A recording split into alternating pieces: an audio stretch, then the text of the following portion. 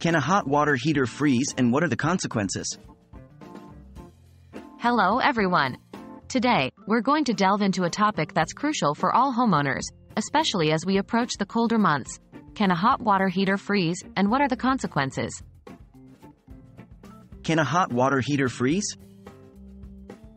Yes, a hot water heater can freeze, especially during extremely cold weather or if the heater is located in an unheated space such as a garage or basement. While it may seem strange considering we're talking about a device that heats water, remember that when inactive or if the weather conditions are severe enough, the water inside can indeed freeze. What happens when a hot water heater freezes? When the water inside your heater freezes, it expands. This expansion can cause severe damage to the heater's tank. The tank could crack or even burst, leading to significant water leaks that could cause substantial damage to your property.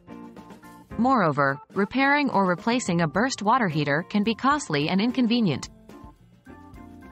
How can you prevent your hot water heater from freezing?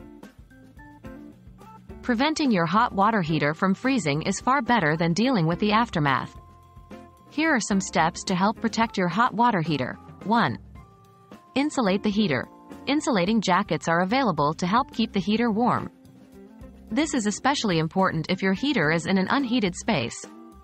2. Keep the heater active. When you're not home during extreme cold, it may be tempting to turn off your heater to save energy. But, keeping it active helps prevent the water from freezing. 3. Insulate the pipes. Frozen pipes can also lead to a frozen water heater.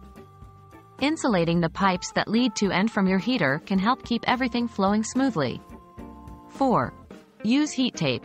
In especially cold areas, wrapping your heater and pipes with electric heat tape can provide additional protection.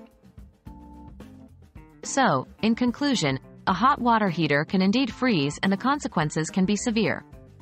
However, with some preventative measures, you can protect your hot water heater and avoid potential damage.